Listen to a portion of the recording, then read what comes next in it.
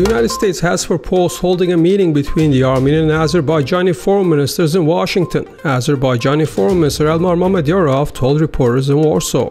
The latest meeting of the Azerbaijani and Armenian foreign ministers was held in Moscow at the initiative of my colleague Sergei Lavrov. Jointly with Russia, we can hope for the progress in conflict settlement given the efforts are increased twice or three times, Mammadyarov said in particular.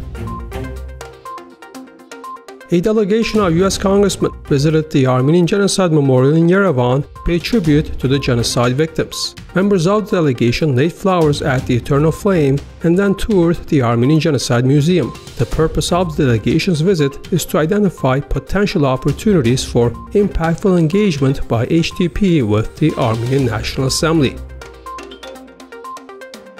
In the wake of the fire that broke out at the Notre Dame Cathedral of Paris, the Requiem Mass commemorating the victims of the Armenian Genocide will now be served at the Notre Dame Cathedral of Lebanon in Paris. Since 1979, the Requiem Mass commemorating the victims of the Armenian Genocide has been served at the Notre Dame Cathedral of Paris. This year was going to be the 40th Requiem Mass at the Notre Dame Cathedral of Paris, but due to the fire, it was decided to serve the Requiem Mass in another church, that is, the Notre Dame Cathedral of Lebanon, located in the 5th district of Paris, said treasurer of the prelacy of the Armenian Diocese of France in Paris, Hampartsum Talatinian.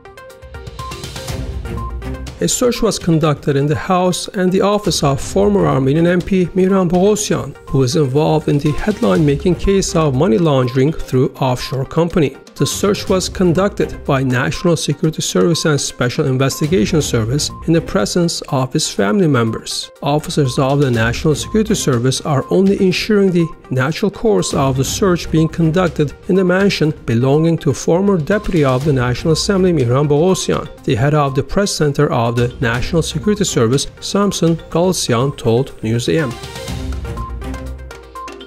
The 24 year old soldier with a gunshot wound and who was taken to a hospital in capital city Yerevan Thursday morning has died. The soldier was pronounced dead at around 11:35 a.m. On Thursday at around 8:20 a.m., the Military Police and Military Garrison Investigation Department of Armenia received a report that a contract soldier of a military unit in Yerevan had inflicted gunshot injury to himself at the arsenal of this military unit.